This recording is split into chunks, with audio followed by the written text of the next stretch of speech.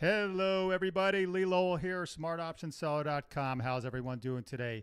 Today is Saturday, February 20th, 2021. Welcome to another edition of my Saturday YouTube videos. As you can see from the screen, today we are going to be talking about the five rules for selling put options. It's one of our most favorite topics, the one I get most questions about. It is what we do at the smartoptionseller.com. We are put option sellers in the stock market.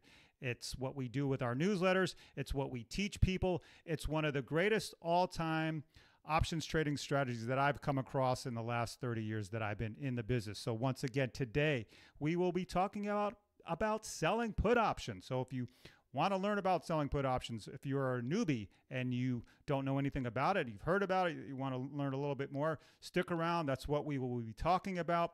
And if you are, are a veteran option trader, and you already know how to sell put options, well, then you can watch too. Maybe you'll learn something. There's always a nugget here or two that you can learn. So let's jump right in. And after we do this, we, of course, we will do our Saturday synopsis where I look at the stock charts, various stock charts, and I will show you what I'm thinking, what I saw in the market over the last week, and what may come forward for the next week's trading.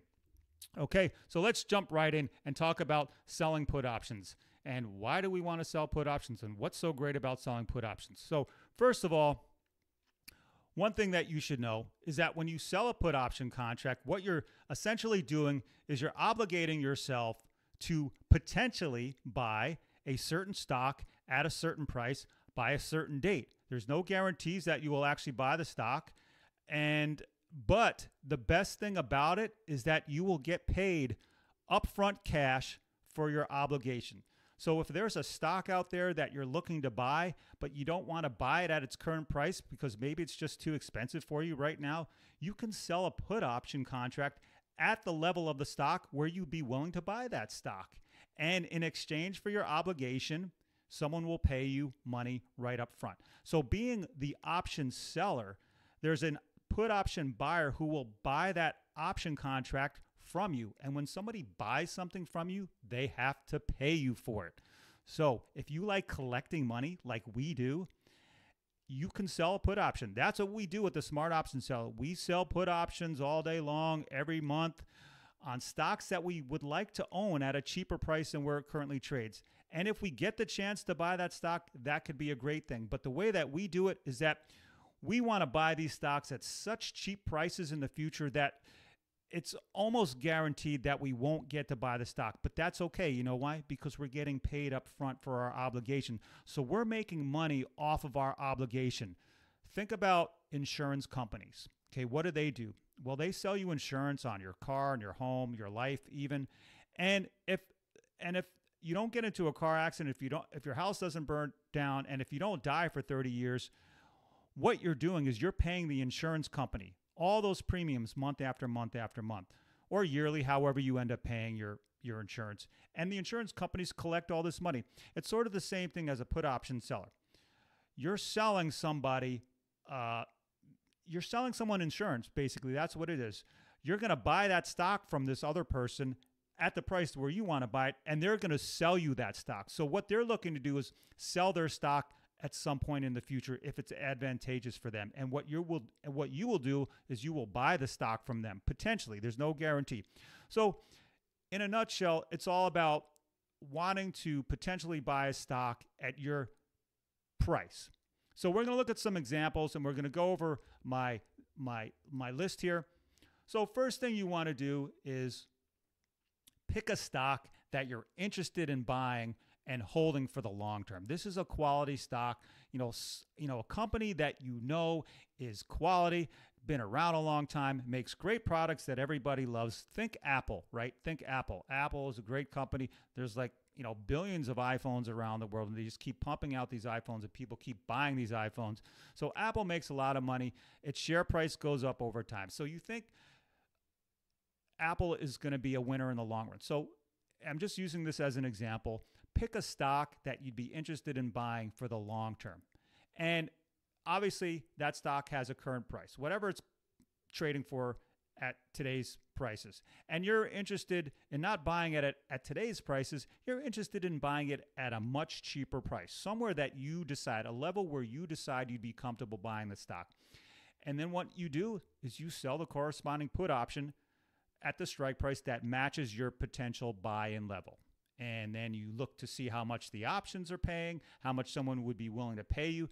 All options have different expiration dates.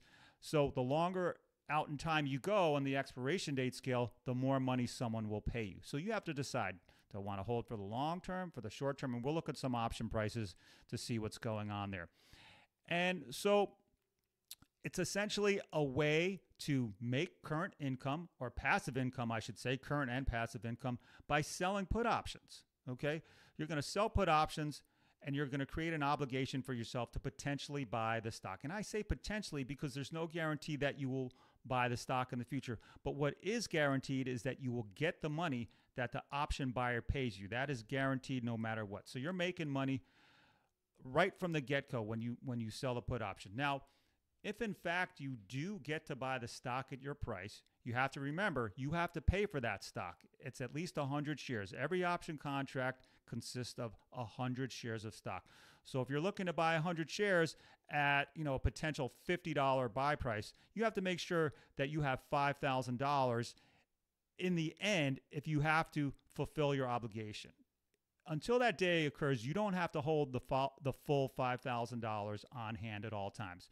You'll you will be required to hold a smaller amount of money uh, while the trade is active. That's what's called the margin requirement, and we can talk about that a little bit too. Uh, a little bit later. So let's let's go to the charts here and just take a quick look to see what what we want to do. Let's let's pull up Apple since that's what we were talking about here. Okay, so Apple is a stock that you love. You love Apple. You don't own any shares yet, but you, you say you say to yourself, you know what? I want to buy some Apple. I want to get on on this thing. Look at Apple. It just keeps going up over time. We can take we can take a long-term look at Apple. Look at Apple. Just beautiful. Just goes up over time. Getting pretty high levels here. So you may be thinking, you know, it's it looks like it might be topping out. Maybe I don't want to buy it at its current level. Maybe I want to shoot for something, you know, a little bit down here if I could try to buy Apple for that price. So anyway, so Apple's trading around, you know, just under $130 a share and you're thinking, you know what? I think it may be due for a pullback. I don't want to buy it at $130. You know, what what's my buy-in level? What is my desired buy-in level potentially for Apple?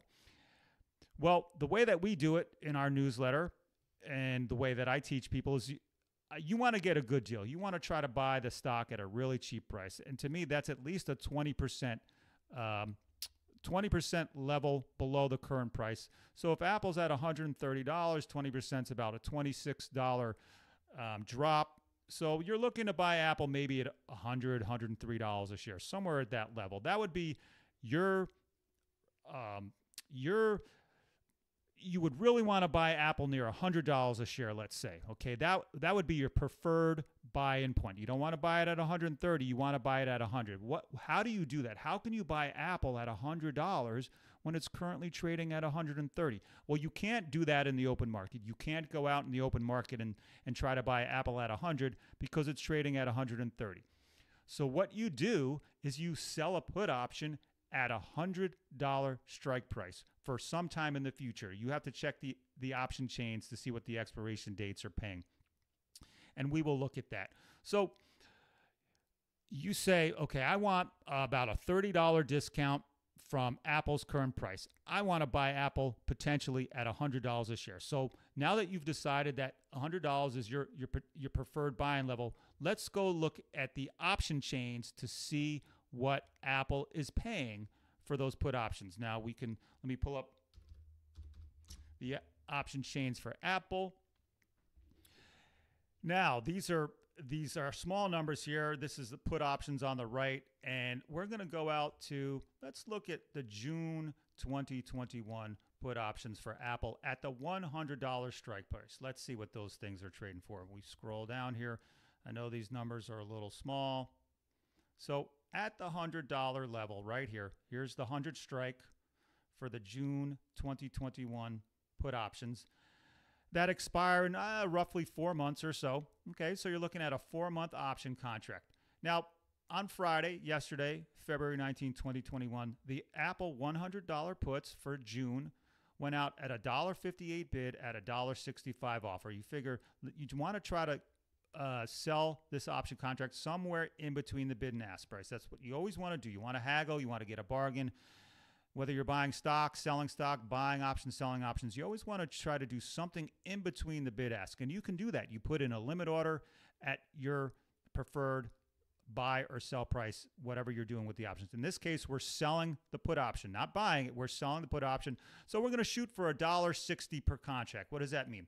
Well, each option contract consists of 100 shares of stock. So whatever prices you see here, you have to multiply by 100, and that'll tell you how much money you will actually be paid when you sell the put option. So if we put in an order to sell one of these put option contracts for a dollar sixty per contract, someone will pay us $160 today, right up front, just for our obligation to potentially buy 100 shares of Apple at $100 per share by June expiration. So when you enter this trade, when you sell this put option, you'll get $160 in your account. And now basically you're on the hook for the next four months to see what Apple stock does. Will Apple stock go up? Will it go down? Will it go sideways? You don't know. You just have to wait and see. But what you do know is that you have put in an obligation to buy 100 shares at $100 for the next four months. And how would that come to fruition? How would you actually end up buying the 100 shares at $100 at June? Well, here's what has to happen. In order for you to get those shares, Apple actually has to fall from its current price of $130 all the way down to $100 by June. And if and if Apple stock is trading at $100 or below at the June expiration date, then you will be called upon to fulfill your obligation and buy those 100 shares at $100 a share. Now, at that moment in time, are you going to be happy? Well, that depends. If, if Apple was truly, if you truly wanted to buy Apple at $100 a share, sure, you should be very happy. You just got to buy Apple for a $30 discount from where it was trading four months prior. And you will have to pay $10,000. You need to have at least $10,000 in your brokerage account to pay for those shares in full. And then come Monday morning after that Friday expiration, you will now have 100 shares of Apple sitting in your account, and your account will be debited by your broker $10,000. So let's just say between now and and June, you know, Apple is fluctuating up and down it goes up, it goes down, it goes sideways. And you'll notice that over time, now option prices are not stagnant. Option prices will fluctuate higher and lower based upon where the stock goes and based upon the time until expiration. So let's just say Apple was still trading around $130 at the June expiration. It didn't drop to 100, it's still trading at 130. What is this Apple $100 put worth now now that we've reached the June expiration? Well, this put option will be worth zero. This put option contract will have zero value because it's not worth anyone selling shares of Apple to you at $130 when they can sell Apple at a at $130 in the open market. So this uh, $100 put won't have a value anymore. It'll be worth zero. So essentially what happens is, is that you sold it for $160. Now it's worth $0. You just walk away with your $160 in your pocket and the trade is over. It's done with. You don't you you didn't get to buy the shares at $100 because Apple stayed at 130. So you you got $160 free and clear, you walk away and and the trade is over. But let's just say Apple did fall to 100 by June, you get your shares and now you're an owner of Apple at $100 a share. Well, what happens if Apple now all of a sudden starts to tick down to $95, $90, $80? Well, if Apple starts to go down to 80 bucks, well now you're in the hole just like every other investor that owns shares of Apple. You're you're looking at a, a paper loss at the moment because Apple has fallen below uh, the area where you bought the option con uh, you bought the shares of stock. Now, you also want to know what your actual break even is. Since you're buying shares at $100 a share, what you can do is subtract the original amount that you took in. You took in $1.60 per contract. So that actually lowers your buy-in level to $98.40 per share for Apple. You take the 100 strike price and you minus out the premium that you took in when you first sold the option.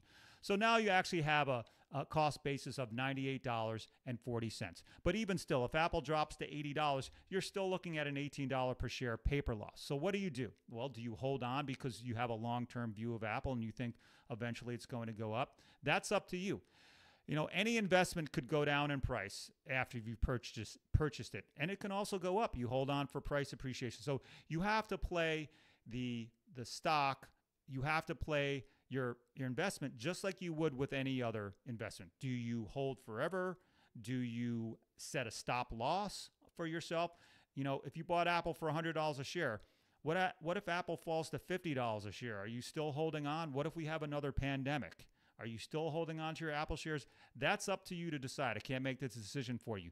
You know, maybe you set a 20 or 25% stop loss on your shares. If you bought Apple at 100, you sell a 25% stop loss, you're selling Apple out at $75 a share. And you take the, you know, the $25 per share loss. It's up to you. You have to play it how you how you deem necessary. Stay within your comfort zone. But if you're in for the long haul and you think, you know what, I'm holding on to my Apple shares till the day I die, then you could do that as well.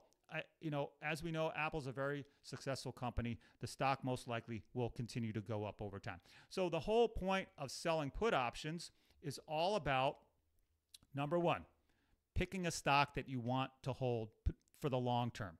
Okay.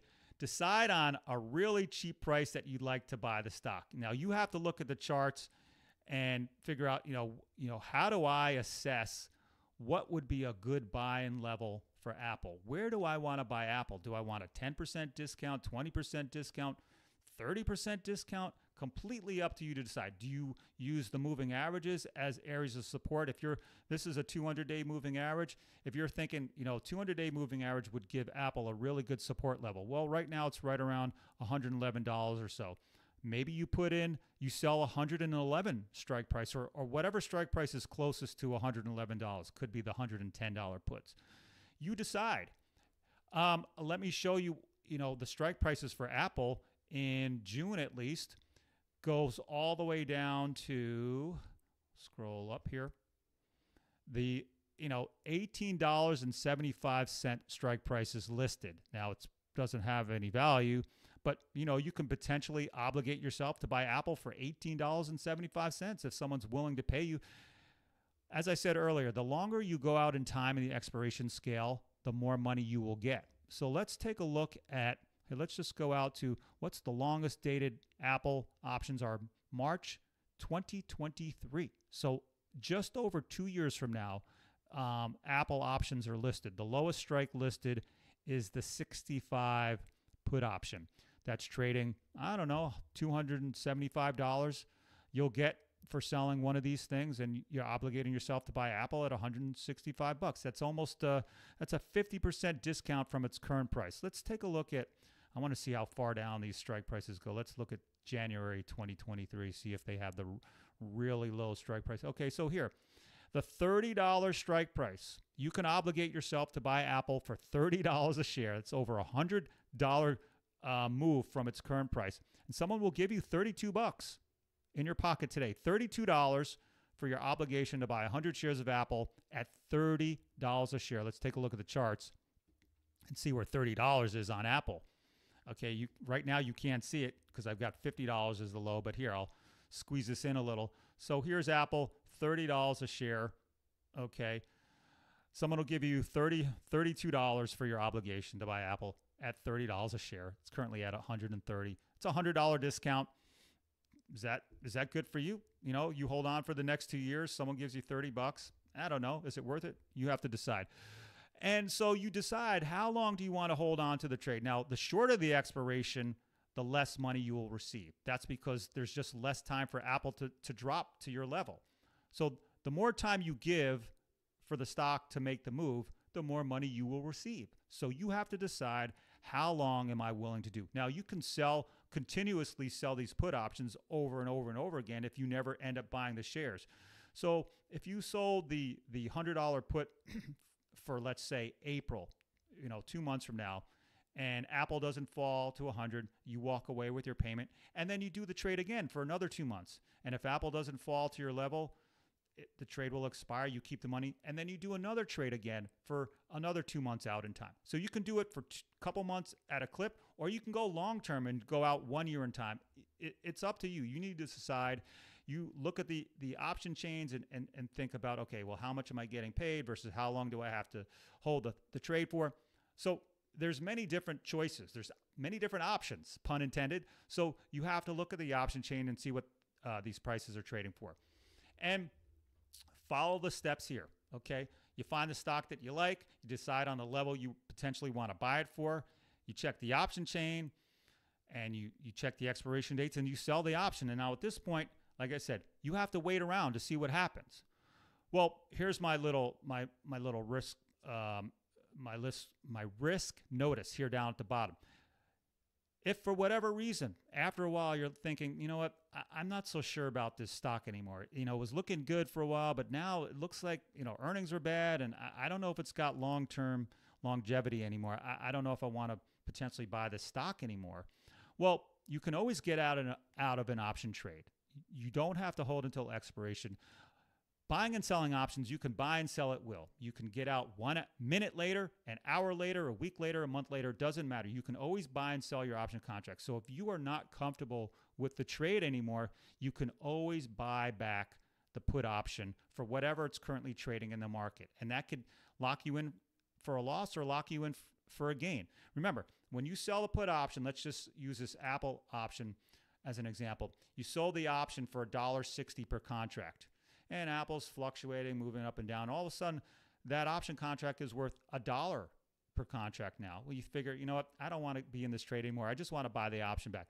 You buy the option back for a dollar a contract. You sold it for a dollar sixty. Now you're buying it back for a dollar a contract. You can lock yourself in a sixty cent um, per contract gain. That's sixty bucks that you've just made, and you're out of the trade.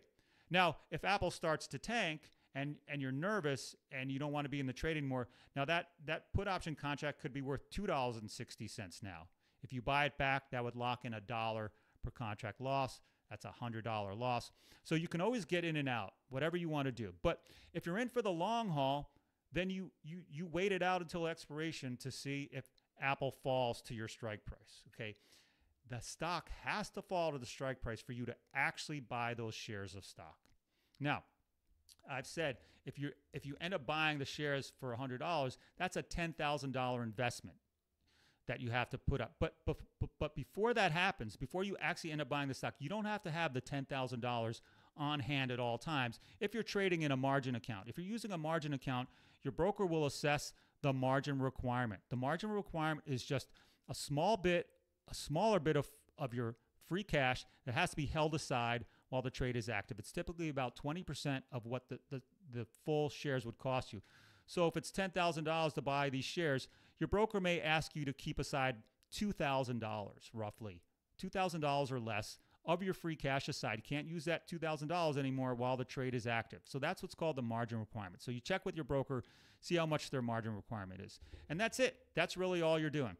Okay, so you're just waiting to see what happens until expiration and you may or may not get to buy the stock, but the the guaranteed thing is that you will always get paid for your obligations. So we have tons of people, I know tons of people, there's a lot of people out there that just sell put options as their source of income. Okay? They're hoping that the stock doesn't fall to the strike price. They're not really so interested in buying the stock. They just want to make the income. They want to keep selling put options to generate all this income. Now, that is a way to make money, yes, but you have to be careful with that. You don't want to sell put options on just any random stocks because they're paying you money. You want to make sure that you're selling put options on stocks that you potentially want to buy because if you're just selling random put options on random stocks, you may have to buy a stock that you're not really interested in and that stock could go down and then you're, you know, you're not happy. So just stick with the quality stocks, stick with stocks that you like. And then there you go. That's how you sell put options. It's a very easy process. We do it all the time.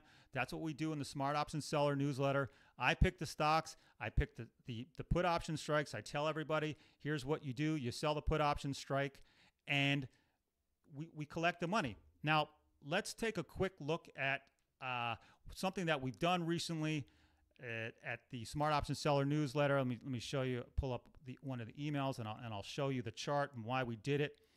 And um, we did a put option sell. We sold a put option on Micron. And here's, you know, if you're if you're part of the Smart Option Seller newsletter, this is what the alert. This is what we call alerts. This is what the alert looks like. I send you an email as soon as I see the trade develop, and we're selling. This was on January 27, 2021. We've already entered and closed out of this trade already because it moved greatly in our favor. So we sold the put option, bought it back at a cheaper price, and we locked in our game. But here's the original sell order. Now remember, the sell order comes first. We're not we're not buying this thing, we're selling it. And so we what we did is we we sold a, the Micron a 55 strike put option for March 19, 2021. We try to sell it for 25 cents per contract or higher. And this is the email that everybody gets. Now, why would I why would I want to sell a Micron put option? Well, you know, selling put options is more of a, a neutral to bullish type of strategy. Okay. So when I'm seeing um, you know, this is Micron, daily chart of Micron. So Micron's in this beautiful uptrend. It's been bouncing off the 20 day moving average. So on January 27th, I decided that here, when Micron was in a nice uptrend, I wanted to wait for it to pull back to one of the moving average lines. So on January 27th, this bar right here, let's um, open this up a little so we can see. So on this bar right here, this is a one day bar. This is actually January 27th. This is the actual day that we got into the trade. We want, I thought uh, Micron was going to bounce and start to move back up, which we actually nailed the bottom. This is the day of January 27th. This is the day we got into the trade. We sold a put option and the stock went up. Put option price went down, and that allowed us not not much later to actually buy uh, the put option back and lock in a gain. So that's how we do it. Now, uh, sometimes I use. Let me edit the studies here. I use a 40 day moving average on the chart as well. So I've got the blue 20 day, I've got the red 50 day, and sometimes I'll put in a 40 day period moving average. Some people follow the 40 day, and you can see Micron bounce right off the 40 period, the 40 day moving average, and that's why we get into the trade. So when I'm looking at the charts, I'm looking for nice, st- strong uptrending stocks that are pulling back to one of the moving averages, and then we jump in. As long as the stock shows me that it's ready to, to move back up. So that's how you do it. We we get into the trade, we sell the put option, and when the stock rallies, we buy the put option back to lock in the gain. We don't buy the stock, we just make money off the put options. So that's how you do it. Okay. So selling put options, once again, here's your cheat sheet. This is what you do. Just remember, multiple streams of income. We like multiple streams of income. Selling put options is a stream of income. Just just make sure you stay within your comfort zone, pick a quality stock, and you know, you either get to buy the stock or you don't. But either way, guaranteed that you will be paid the put option premium. So there you go. There's your lesson for today. Let's move into our Saturday synopsis. Saturday synopsis. Some people like this. I, I take a look at the stock indexes, stock charts, see what see what's going on over the past week and what may be going forward for next week. So let's take a look at the indexes. We always start with the SPY, exchange traded fund for the S&P 500. We've been bullish. I've been bullish. The market's been bullish. Um, you know, the thing just keeps ticking higher. The indexes just keep ticking higher. Now, there are individual stocks that aren't following along as well as the indexes. The indexes are made up of many different stocks. So it's just been in this nice slow uptrend up. I've got the fifth, the 20 day blue line, and I'm going to get rid of the the 40 day because that kind of clutters the chart a little bit. Let me take that off here and stick with our typical 20 day, 50 day, 200 day moving average. And the S&P 500 has just been kind of chugging along the 20-day moving average. Had this little pullback here was about 2 weeks ago or so, bounced right off the 50-day moving average and started to move up again. Simple technical analysis people, when you have stocks moving greatly in a nice upward direction, pullbacks should be contained by either the 20-day or 50-day moving average, okay? And if stocks are in a downtrend, they will be contained by the 50 day and 20 day. Let's take a quick look at, at a stock like uh, Kellogg here. So Kellogg is a stock that's in a downtrend, and when when it is moving down and it goes back higher, it will usually get rejected by the 20 day or the 50 day. You can see it sort of hugs these moving average lines. So the moving averages work on the way up and work on the way down, depending on if you're bullish or bearish for a stock. So let's go back to the let's go back to the SPY here. So it's just it's continuing to move up. I you know there's really nothing to derail this thing. I mean, I know people are calling for um, you know stocks hitting a top, stocks are getting um, overbought, their valuations are getting very high, but you know people have been saying that for years and years and years. If stock if comp- remember remember these are actual companies these aren't just blips on the screen. These are actual companies creating actual products, putting out actual earnings. And if their earnings keep going up quarter after quarter after quarter, the stock price is going to keep going up as well. So sometimes stocks can get ahead of themselves. Yes, sometimes stocks could go up greatly and and gravity eventually will pull it back down. But if you have solid companies with solid fundamentals that will slowly continue to move up over time. I mean, you may have thought that this was the top here right before the pandemic. Now, due to the pandemic, of course, it fell. But, you know, some people might have said, okay, well, we hit here in June, the stock can't go up anymore. It pulled back, but then it kept going. And you might think, well, this is the top for good. Well, yeah, it pulled back and then it went up and then it pulled back and then it kept going up. So over time, stocks continue to go up. It's just how the stock market works. It's the best place to put your money for any kind of return. It's just that's it. The stock market goes up over time. The stock market is made up of companies that create products and services that people want to buy. And if people are keep paying for these things, the company keeps making more money. So that's just the reason why the stock price keeps going up. So calling trying to call tops is very hard to do and you're just going to keep missing out on the moves. Now I, am not going to say that this the market won't pull back. There of course there's going to be periods where the market pulls back and periods where the market pulls back a lot stronger. But if the the pandemic a worldwide pandemic couldn't hold the stock market down for longer than this i don't i can't see any other thing holding the stock market down for long periods of time either. Yes, we may get another catastrophe of some sort around the world, drop the stock market, but what happened here? All the central banks around the world stepped in and backstopped everything. You think that won't happen again? Of course it will happen again. So I like to stay long. It's just the way to make money long term in the market. So the S&P 500 looks good. Let's take a look at the Nasdaq, which has really been the leader uh, since the bottom of the pandemic. Let's see if my chart should be populating here for a second. Come on. Uh, it's not pulling up. What's going on here? It seems that everything seems to have been frozen here. Um, what's happening here? Let's take a. Let's take a. Let me let me change my. No, no, I don't want to do that. Um, okay, so something's okay. Here we go. Let's let's pull up the Nasdaq. Let's get that in here. No, I got nothing. Uh, I'm not really sure what's happening. Why is that happening? All right, well, stocks aren't working at the moment. Um, if I change the internet connection, it's going to knock me offline here, so I don't want to ruin the recording. Um, well, let's see if any other stock. Give me a quick second here. Let's see what's happening. I've got, okay, okay, here we go. Come on, people. All right, let's take a look at the Dow real quick. The Dow, strong too. We had this little pullback about two weeks ago fell below the 50 day moving average, but quickly bounced back. That's what stocks do. When stocks are in a nice uptrend, they pull back to one of the moving average lines and keeps going up. Dow, all time new highs once again. Things look good for the Dow. Let's try the NASDAQ here, see if it populates. Okay, we're back in action.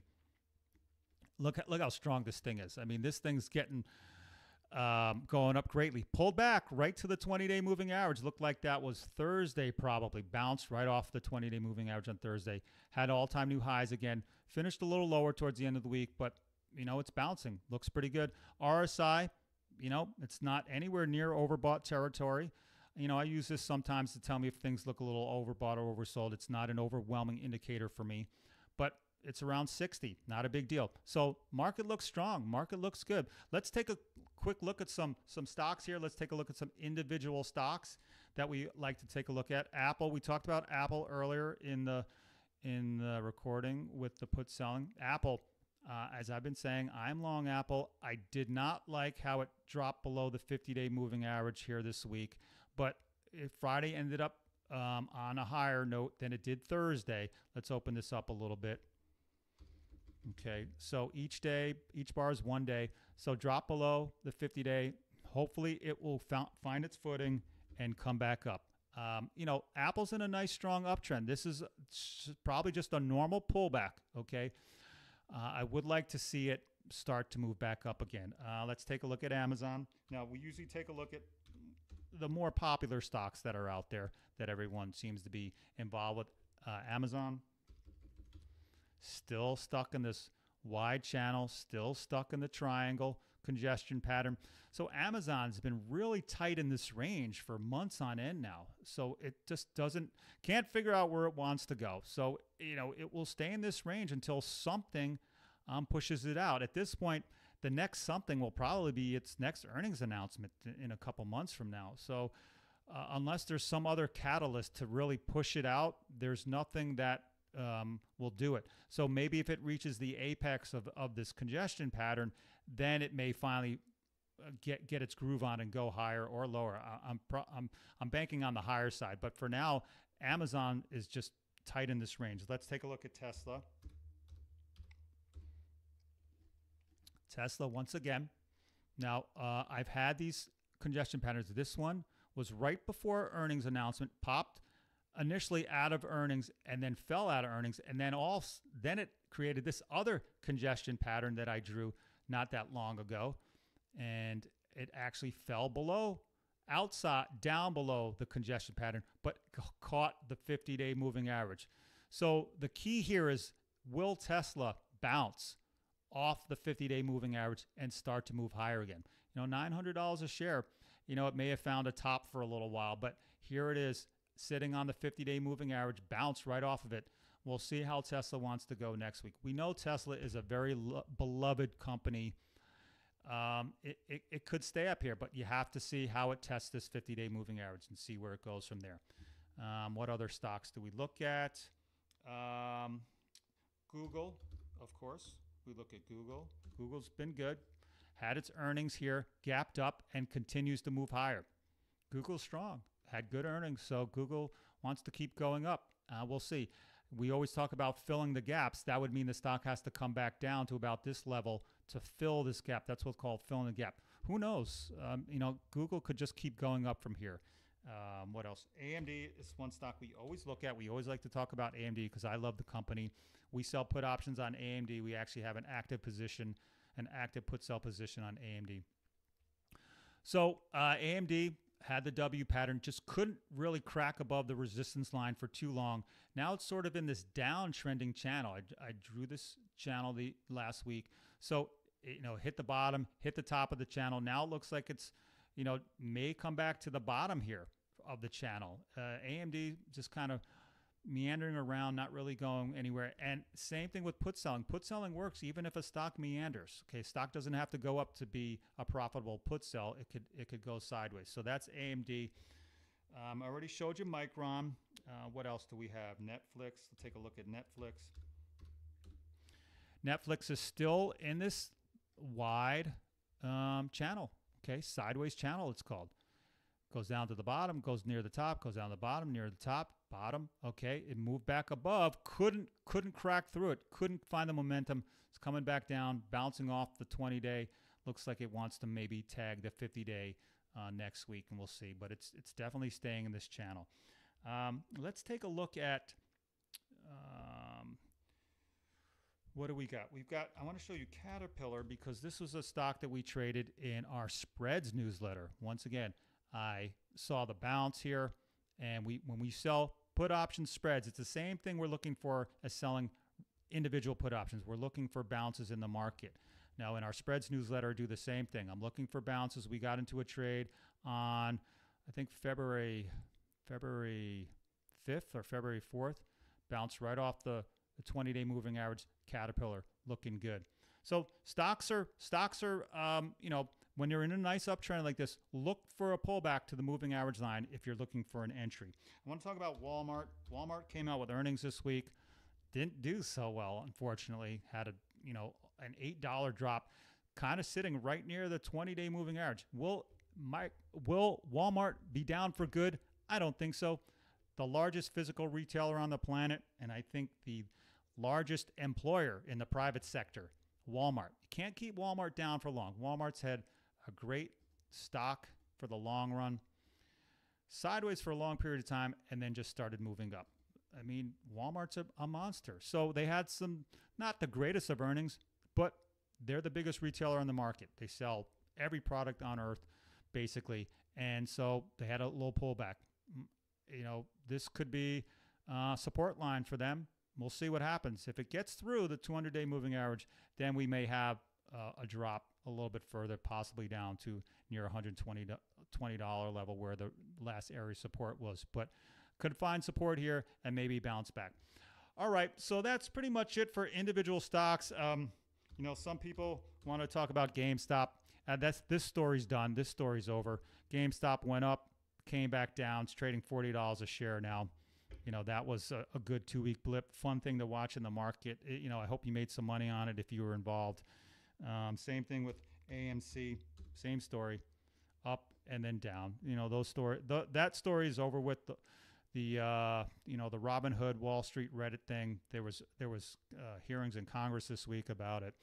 So um, what else do we have? And, and so now we have the uh, the uh, Bitcoin stock. Now Bitcoin Bitcoin's hitting fifty seven thousand dollars a coin now. I mean this week was just tremendous. We talked about these stocks last week. Uh, Riot is the Bitcoin mining company. Uh, if Bitcoin itself goes up, Riot stock goes up as well. I mean, it's just powered higher. Will it drop? It'll only drop if Bitcoin drops. If Bitcoin keeps going up, Riot's going to keep going up as well. So we've been looking at some of these stocks. All right. So that's it here for your Saturday synopsis. We take a quick look back at the SPY just to kind of get an idea. We like to take a look at the indexes because it's great for passive investing. Just follow the market. S&P 500 once again, it you know it looks strong. It may have some pullbacks, but there's nothing to derail it. Uh, I don't think uh, for a massive move down. There's, you know, what what is there out there? Yes, coronavirus is still around. The vaccines are are out. Everyone's, or not everyone, but the vaccine rollout is out. People are getting vaccinated. Um, I, am bullish. I, I, really don't see anything to de- derail this market. Pullbacks will happen. That could be a good timing point for you. All right, so that's it for the Saturday synopsis. Let's once again take a look at. Let's go to our website here put selling basics smartoptionseller.com seller.com don't or put download or put your name and e- or put your name and email address in here for your free guide okay we'll send you a free guide learn how to sell about put learn how to sell put options also our services right here two newsletters talked about smart option seller newsletter that's the one where we sell individual put options i showed you the, the micron trade i do all the heavy lifting I pick the stock, pick the strike price, pick the expiration date, sell point. Now, people can use my picks. People in my service will say, you know what, I like the way Lee picks stocks. He seems to be able to tell when these stocks are going up. I'm going to buy the stock itself. I'm going to buy call options and sell put options because they trust me. So we stick to selling put options. That's what the newsletter is. Vertical Spread Trader, that's our put options put option spread newsletter. We sell the, those put option spreads. And once again, our one-on-one coaching. If you if you want to get a handle on how to do this, if you need some help, if you're just a beginner, consider our one-on-one coaching. We've been helping a lot of students. So that's what we do. SmartOptionSeller.com. Okay, everyone. Uh, thanks for watching today. I hope this this video has has given you some good information on selling put options. In the bottom right hand corner of this video is the red subscribe button. Please hit the subscribe button so you will always be notified. Turn on the notifications. You'll know when I put out another video. Give me a thumbs up if you think this was helpful to you. Leave me a comment. I always try to answer these comments. Send me an email if you have questions. I always try to answer your emails. Okay, well, that's it for me today. I hope everyone has a great weekend, and I will see everyone next week. This is Lee Lowell signing off.